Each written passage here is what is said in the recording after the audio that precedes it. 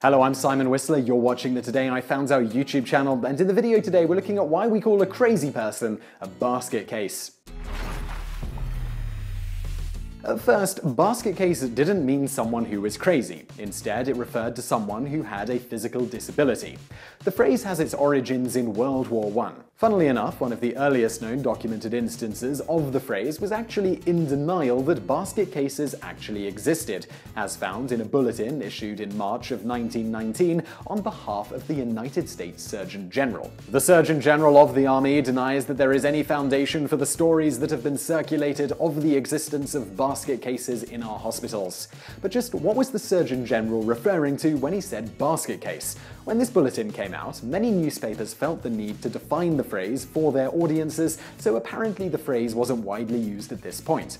They defined it as a soldier who had lost both arms and legs and therefore must be carried in a basket. That's from the Syracuse Herald in March of 1919. Whether they were literally carried around in baskets, as the newspaper stated, or the phrase originally was just referencing the then common colloquial idea of associating baskets with beggars or helplessness, given the grisly nature of World War I and anecdotal reports, it seems plausible enough that there were probably at least some basket cases, despite the Surgeon General's denial. As you can imagine, the original meaning of basket case was never incredibly common. It wasn't until World War II that the phrase prominently resurfaced.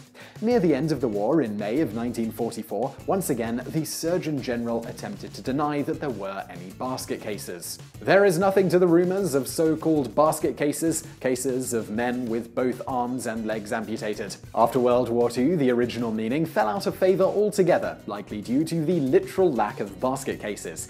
However, for a while, the phrase expanded to mean someone with a physical disability who was unable to get around by themselves easily. Today, of course, it has further evolved to mostly be a slang phrase for someone with a mental disability or someone who seems to have been moved to act in a crazy fashion for whatever reason. So I really hope you enjoyed that video. If you did, please do give us a thumbs up below and don't forget to subscribe if you haven't already. Also, over there on the right, a couple of other videos you might enjoy if you enjoyed this one, and thank you for watching.